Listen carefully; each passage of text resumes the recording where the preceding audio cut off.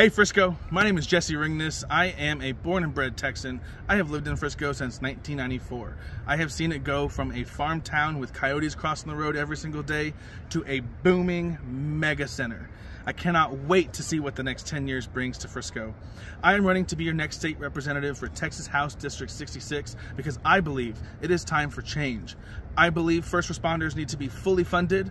We need to make sure that our police and our fire have the resources that they need to make sure that the job gets done safely and correctly.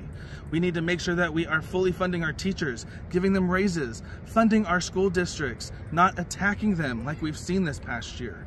I am running to make sure that we are lowering healthcare costs. I grew up in a single parent household. My mom was diagnosed with multiple sclerosis in the 90s, and I've seen the devastation that the healthcare system, that um, diseases can bring to families. And I want to make sure that we are lowering healthcare costs, offering caregiver support. There's a lot of things that we can do. We just need to make sure that we are electing the right people into office.